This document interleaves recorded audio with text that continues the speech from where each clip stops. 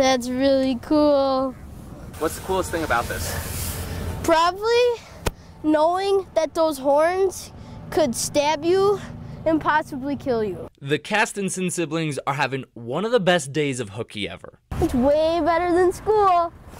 because they're getting up close and personal with these Texas Longhorns. They belong to their dad's friend, John Kane.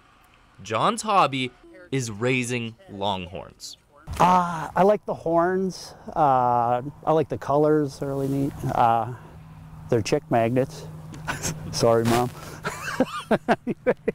He has 13 longhorns. Some of their horns measure 7 to 8 feet wide. They're a long way from their Texas roots, but these are hardy animals and can survive Wisconsin winters. Some may have even seen these particular longhorns before, actually. John's farm is alongside the I 94 highway between Milwaukee and Madison in the town of Concord. People have dogs and cats and fish and so forth, and I have longhorns. And These longhorns are his pets. He bought the first one in 2008 from a trucker. there was a bull named Dozer.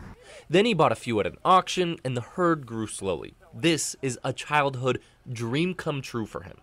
I thought uh, when I grow up, if I ever make it in this world, I'm going to have a have a longhorn. And So this is kind of like you've made it. I've made it.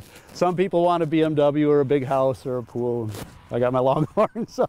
John will take his friends' kids on safari type trips like he did with the Castensons. He is big. But he's also used to people just stopping in his large driveway to look at the longhorns. In fact, he invites it, but be respectful, of course. There was one time a group uh, from a retirement home in Watertown came out here with a whole bus of seniors. Everyone has their thing. For some, it's art. For John, it's longhorns, even if people call him crazy. They'd be right. For the Castenson kids, it's playing hooky.